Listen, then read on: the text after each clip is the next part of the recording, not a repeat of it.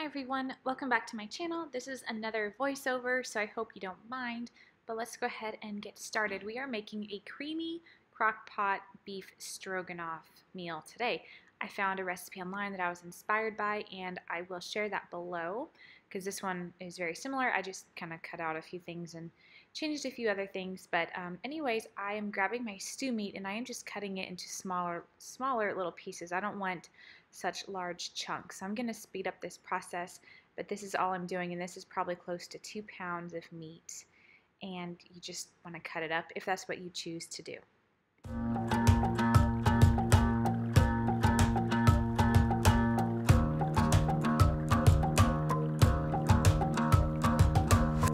I've been trying my best for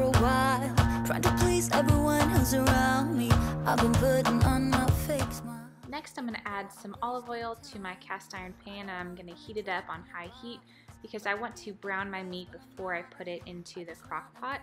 Gonna let the past burn down, cause honestly, don't wanna be stuck in boring conversations with you.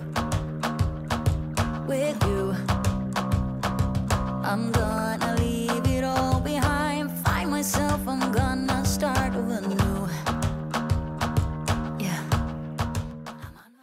just going to add some salt and pepper for seasonings. I'm not going to use anything else because some of the other ingredients will have enough flavor in themselves.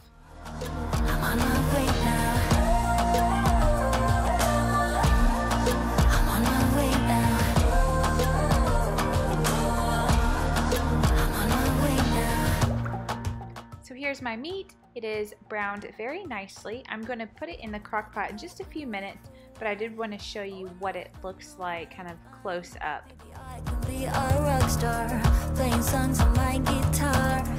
I know I have to be somewhere else to be able to find myself. Shouldn't be so complicated. Here I am dicing my onion. I used about half of a cup, maybe a little bit more than a half cup, but anyways, I'm just dicing it up and then I'm going to also add a green bell pepper. This is half of a green bell pepper that was left. And I'm laughing because it just magically appeared on the counter. I think Ryan grabbed it and then put it back. So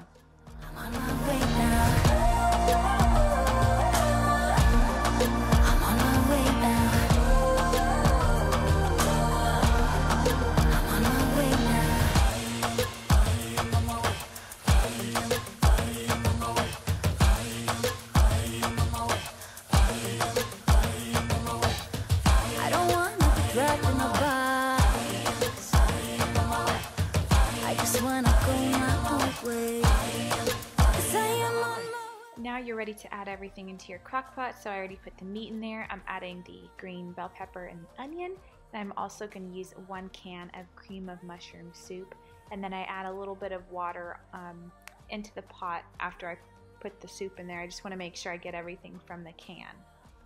And then I'm also going to use a packet of onion soup mix. I'm going to use the entire packet and then I use just about under one can full of water just to give it um, some more moisture. Mix it around well and then I cook it on high for four hours.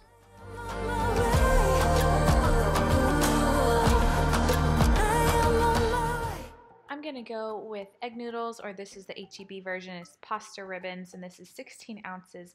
I'm just gonna use about 12 ounces of pasta, and I'm just gonna cook it per the instructions. You just wanna bring it to a boil and cook it. I like to have it al dente, and then that is pretty easy. If you like to use rice, you can use rice. I'm sure that would be a good substitute if you don't wanna use a pasta.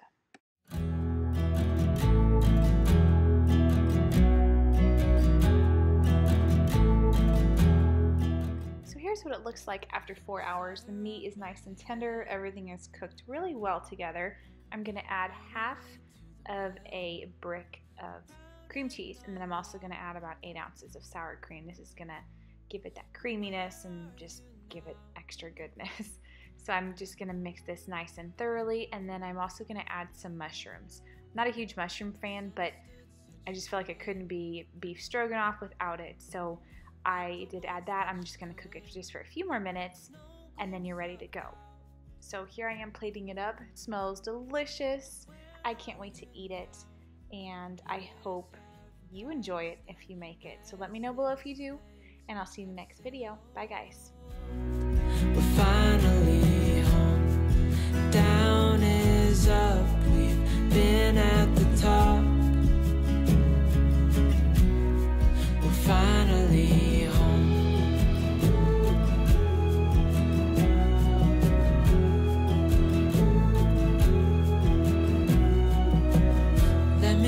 You a hand.